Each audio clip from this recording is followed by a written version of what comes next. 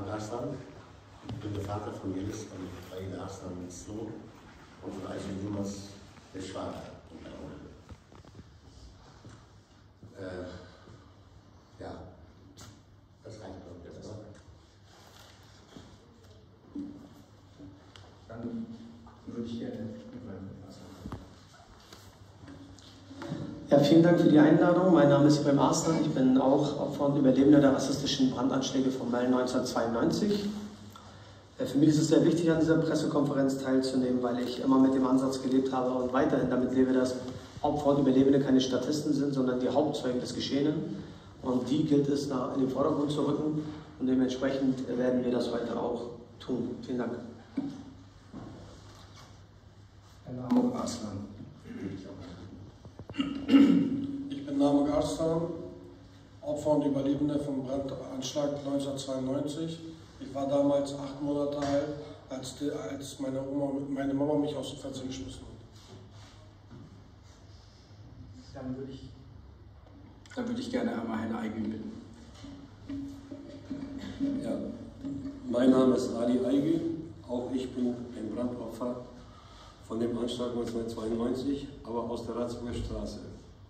Es war für mich eine sehr schreckliche Nacht und ich habe mich jetzt auch kurzfristig bereit erklärt, hier teilzunehmen, aus dem Grunde, weil ich es seit Jahren vermisse, über die Ratzburger Straße 13 zu reden.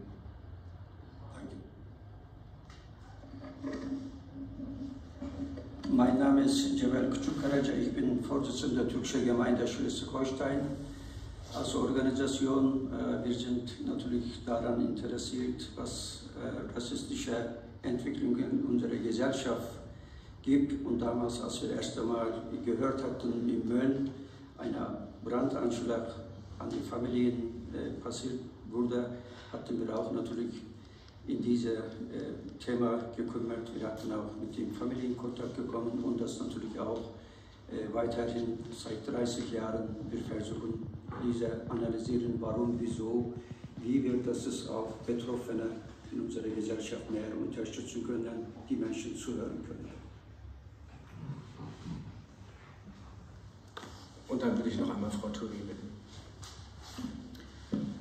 Ich glaube, heute ist ein sehr schwerer Tag für alle, vor allem für die Betroffenen und für diejenigen, die Opfer von diesem Brandanschlag geworden sind. Und deswegen geht es mir heute vor allem als politische Vertreterin dieser Landesregierung darum, mit Ihnen ganz klar darüber zu sprechen und Ihnen das deutliche Signal zu geben, dass es der größte Anspruch für mich ist, dass wir das Gedenken und die Erinnerung genau in dem Sinne, wie Sie sich das wünschen, gestalten können. Und das ist für mich das, was heute zentral im Mittelpunkt steht. Ich danke Ihnen. Herr Faruk Aslan, in der Nacht des 23. November 1992 haben Sie Ihre Tochter Jelis, Ihre Mutter Bahide und Ihre Nichte Aische bei den rassistischen und menschenverachtenden Brandanschlägen in unserer Stadt verloren. Können Sie uns etwas über die Person erzählen?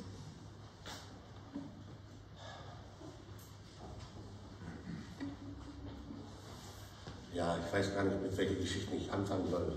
Äh, meine Mutter Bahide ist für Mölln, glaube ich, eine Frau gewesen, die äh, das Herz von Mutter Teresa getragen hat und den Menschen, die hier sind, für alle da waren und die, die geholfen haben.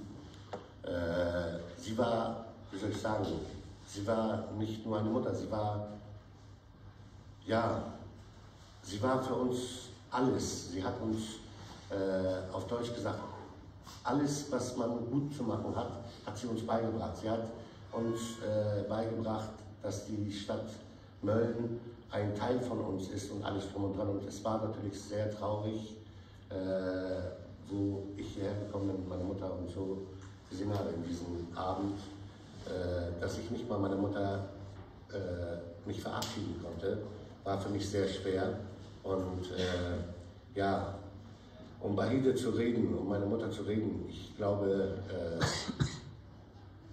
einige Möllner, die hier in Mölln leben, von, ob es die, unsere türkischen Mitbürger sind oder die deutschen Mitbürger sind, können, glaube ich, von Bahide die Geschichten viel besser erzählen, was das für eine Person war und für wen sie äh, und was äh, für eine starke sie war, Stärke sie in sich hatte.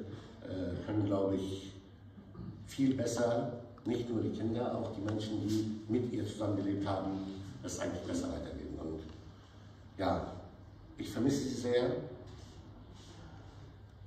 Ich vermisse ihre, so diese Pharao-Rufe und äh, ja, es tut mir einfach weh, wenn ich über sie rede oder ihre Geschichten hier erzähle, die sie damals so toll gemacht hat. Und wie ich gesagt habe, sie war für mich nicht nur bei sondern sie war auch eine Mutter Teresa für die äh, Menschen, die hier gelebt haben.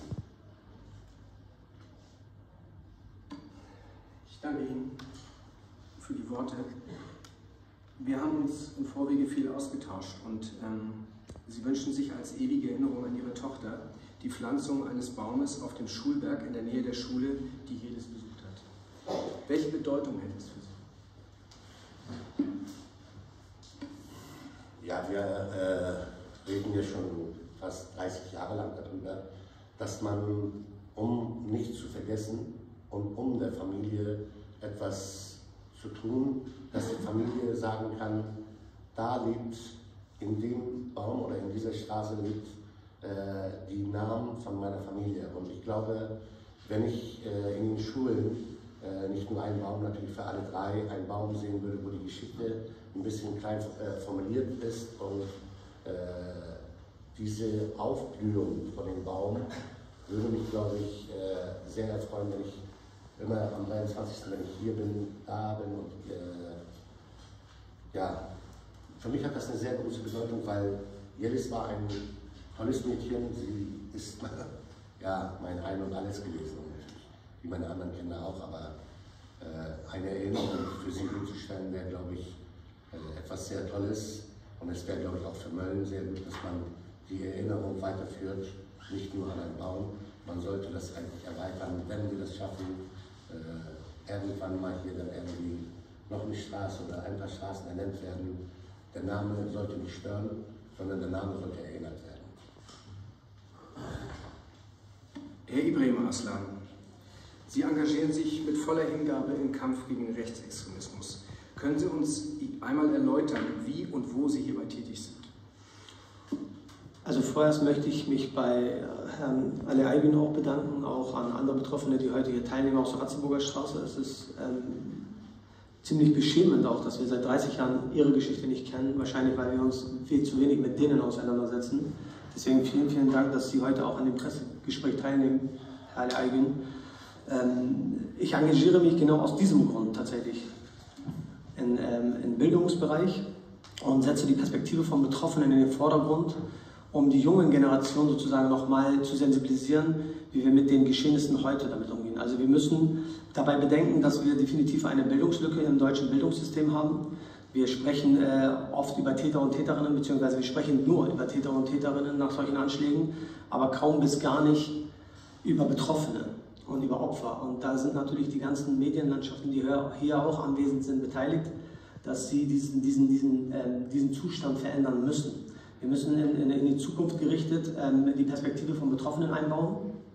Deswegen fordere ich auch aus der politischen Richtung, ähm, dass, äh, dass man Bildungsbausteine äh, dafür, ähm, dafür einsetzt, Betroffene einbezieht in diesen Bildungsbereich um auch unsere Geschehnisse, unsere Geschichten in den Vordergrund zu rücken, gleichzeitig auch andere Schüler und Schülerinnen zu motivieren, aus ihren Erfahrungen heraus diese Gedenkpraxen in dieser Gedenkkultur zu verändern. Weil wir hinterfragen die, Gedenk die deutsche Gedenkkultur, die, die gerade existiert, und möchten und fordern eine neue Gedenkkultur auf Augenhöhe im Einklang mit Betroffenen. Dankeschön. Ähm, ich bin erst seit kurzem Bürgermeister dieser Stadt und wir haben schon diverse Gespräche geführt. Und ich habe wahrgenommen, dass Sie mit dem Umgang der Stadt Mölln mit dem Gedenken nicht einverstanden sind. Ich möchte mit Ihnen gemeinsam in der Zukunft ähm, die, diese Angelegenheit gestalten, das Gedenken gestalten. Und was muss die Stadt aus Ihrer Sicht künftig beachten, wenn wir das Gedenken und die Erinnerung geme gemeinsam gestalten möchten? Genau das, was Sie hier gerade gemacht haben. Sie sollten uns fragen. Sie sollten die Betroffenen fragen, wie sie das möchten und sie auch an der Gestaltung, an der Konzeption der Organisation teilhaben lassen. Und so sollten wir auch tatsächlich mit anderen Betroffenen bundesweit umgehen. Wir sollten sie fragen, wie sie das möchten, wie sie dieses Gedenken selbst gestalten möchten und nicht über deren Köpfe hinweg einfach eine, eine Organisation konzipieren und ähm, das gleichzeitig mit, äh, ohne sie sozusagen zu fragen, umzusetzen. Wir möchten die Betroffenen in den Vordergrund rücken, dann müssen wir mit denen gemeinsam kommunizieren und anfangen, mit, sie, mit ihnen zu kommunizieren. Dankeschön. Herr Namuk, Aslan. Ähm, ich möchte Ihnen die gleiche Frage stellen. Ähm, was muss aus Ihrer Sicht zukünftig beachtet werden, damit wir das Gedenken und das Erinnern gemeinsam gestalten können? Was würden Sie sich wünschen? Ich kann mich da nur anpassen an meinen Bruders Worte und würde mir wünschen, dass wir ab sofort zusammenarbeiten. Ich möchte Ihnen noch eine persönliche Frage stellen. Und zwar, wenn Sie an Mölln denken, woran denken Sie? Wenn ich an Mölln denke, denke ich an den 23.11. Denke ich an meine Schwester, an meine Oma und an meine Cousine.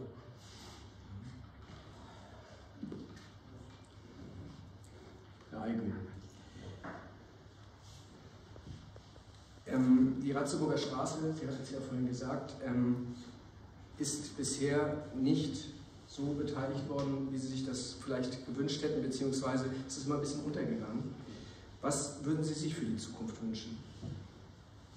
Okay, also eigentlich bin ich jemand, der sehr ungern vor dem Mikrofon steht und was dazu sagen möchte. Ich bleibe lieber im Hintergrund, aber heute wollte ich einmal die Gelegenheit nutzen, um über die Ratzeburger Straße und über die Familien zu sprechen. Aber im Voraus kann ich mich an Herrn Faruk Arslan beteiligen. Ähm, für mich ist es eine sehr große Trauer um diese drei Menschen, die da gestorben sind. So. Das zweite ist, heute sind genau 30 Jahre vergangen und es ist heute zum ersten Mal so, dass man einem Menschen, äh, Entschuldigung, äh, einem Menschen von der Ratsvorstraße 13 die Gelegenheit gegeben hat, zu sprechen. Es ist eine sehr, sehr schreckliche Nacht gewesen und ich möchte nicht aufzählen, was ich alles erlebt habe und was ich alles tun musste,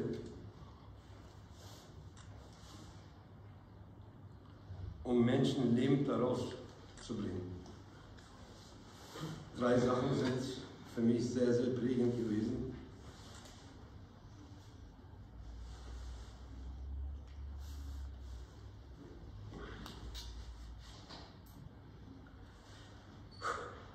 dass ich zuerst meinen Sohn auffangen musste.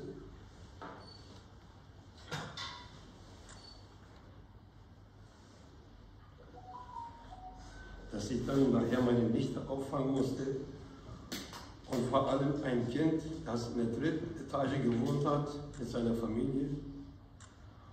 Und wir flehend sie gebeten haben, das Kind nicht runterfallen zu lassen. Sie haben es trotzdem getan.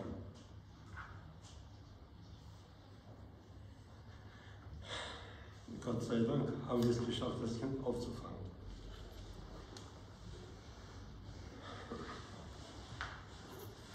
Es ist wirklich eine sehr, sehr große Trauer für mich und für die ganze Familie.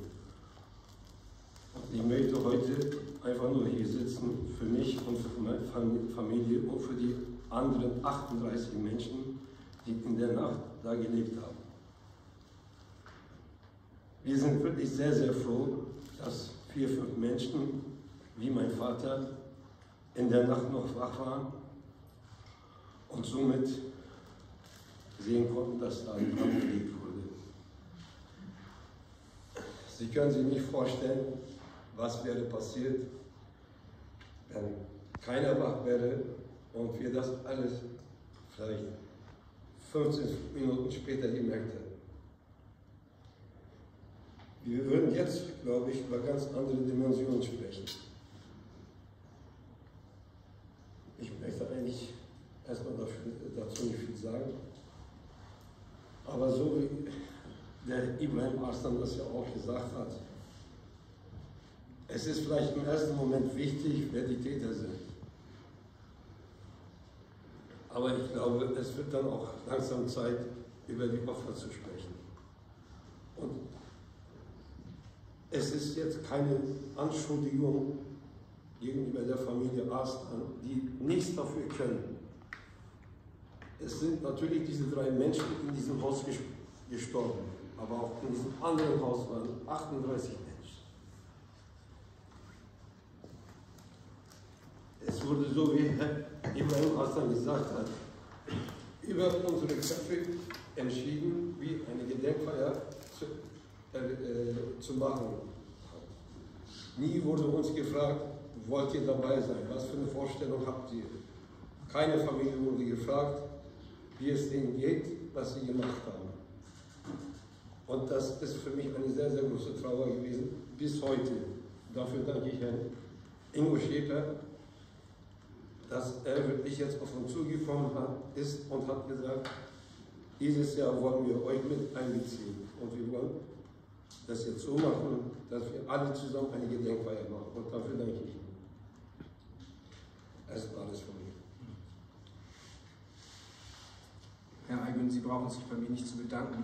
Ähm, ich habe höchsten Respekt vor Ihnen allen, dass Sie heute hier sind. Ich möchte nicht an der Stelle sitzen, ich möchte es einfach so deutlich sagen und das miterlebt haben, was Sie miterlebt haben. Frau Touré, Sie begleiten, begleiten die heutige Gedenkveranstaltung als Sozialministerin des Landes Schleswig-Holstein. Hat sie als gebürtige Schleswig-Holsteinerin die Geschichte der Brandanschläge von Mölln in ihrem Leben begleitet und wie wichtig ist für Sie das Gedenken und Erinnern an Mölln? Als erstes möchte ich mich ähm, dafür bedanken, dass Sie Ihre Geschichten hier mit uns teilen, weil es keine Selbstverständlichkeit ist und Sie an der Stelle immer wieder auch die Verletzungen und die Wunden der letzten 30 Jahre vor einer Öffentlichkeit darstellen, die traumatische Verletzungen bei Ihnen hinterlassen haben. Und ich möchte vor allem Ihnen ganz herzlich dafür danken, dass Sie darstellen, was Ihnen passiert ist. Weil ich glaube, dass das Teilen Ihrer Geschichte eben genau dazu führt, dass sowas nie wieder mehr passieren darf. Und Herr Schieber, wenn Sie mich fragen, inwiefern das mein Leben begleitet hat, ich würde sagen, wenn es diese rassistischen Anschläge, rechtsextremistischen Anschläge in Deutschland, in Mölln, in Hoyerswerda, in Rostock-Lichtenhagen in den 2015er Jahren jetzt wieder stetig und konsequent. Wenn es das nicht gegeben hätte, wäre ich wahrscheinlich gar nicht in die Politik gegangen. Weil für mich immer eins unverständlich war, dass all diese Dinge passieren in unserer Gesellschaft und wir es trotzdem schaffen, so zu tun, als würde Rassismus oder Rechtsextremismus in unserer Gesellschaft keinen Platz haben. Er hat diesen Platz in unserer Gesellschaft und er hat ihn vor allem dadurch, dass Menschen ihr Leben verlieren. Und deswegen ist es meiner Meinung nach die größte Aufgabe von Politik, aber auch von Gesellschaft, darauf zu achten, selbst nicht dem Narrativ zu verfallen, zu sagen, wir sind eine offene Gesellschaft, in der sowas einfach nicht passiert. Und wenn Sie mich ganz persönlich fragen, inwiefern das mein Leben begleitet hat, die Anschläge, die in Mölln stattgefunden haben, waren 1992, wenige Tage nachdem ich selber auf die Welt gekommen bin. Ich bin 30 Jahre alt und meine Eltern sind 91 nach Deutschland gekommen. Sie sind nach Schleswig-Holstein gekommen und sie sind in einer Flüchtlingsunterkunft groß geworden. Und als ich meine Mutter einmal gefragt habe, was haben diese Ereignisse mit dir gemacht? Das habe ich sie vor ein paar Jahren gefragt. Da hat sie gesagt, Amina, weißt du, wir haben uns damals eine Leiter gekauft, weil wir Angst davor hatten, dass das Gleiche, was in Mölln passiert ist, uns passieren könnte. Und deswegen, ich weiß nicht, wie es Ihnen ergangen ist. Und das können nur Sie darstellen. Aber ich möchte damit deutlich machen, dass es eine Wunde, die bei den Familien und den Angehörigen eine Wunde hinterlassen hat, die niemals zu heilen sein wird. Sie hat etwas mit der schleswig-holsteinischen Gesellschaft getan und vor allem mit Menschen, die eine Migrationsgeschichte haben. Und deswegen ist es etwas, bei dem das Erinnern so zentral ist, dass diejenigen, die es erlebt haben, im Mittelpunkt davon stehen und dass wir es danach ausrichten. Weil ansonsten solche Dinge immer wieder passieren werden. Ich danke Ihnen. Ähm, Sie haben es angesprochen, wie wichtig es ist, ähm, etwas gegen den rechten Extremismus zu unternehmen. Was unternimmt das Land Schleswig-Holstein dagegen und welche weiteren Maßnahmen sind für Sie denkbar? Ich glaube, was wir im politischen Raum zu wenig getan haben, ist uns die Frage zu stellen, wie wir es verhindern können, dass Rassismus und Rechtsextremismus auf Nährboden treten kann. Und deswegen ist einer der Maßnahmen, die, und an denen ich selber mitarbeiten durfte in den letzten Jahren, der Landesaktionsplan gegen Rassismus geworden. Dass wir uns als Landesregierung, als Parlament gemeinsam durch alle Bereiche, sei es Bildung, sei es Polizei, sei es Zivilgesellschaft, sei es jegliche Strukturen, die öffentliche Verwaltung, sich mit dieser Frage auseinandersetzen muss und Maßnahmen erarbeitet worden sind, von der frühkindlichen Bildung bis hin zu jeglichen Arbeitsbereichen. Weil das Problem an der Stelle ist, dass wir uns gesellschaftlich immer darauf einigen können, dass wir Rechtsextremismus als Problem feststellen. Aber Menschen werden nicht als Rechtsextremisten geboren. Sie leben in einer Gesellschaft, in der es einen Nährboden dafür gibt, in dieses Extrem zu verfallen.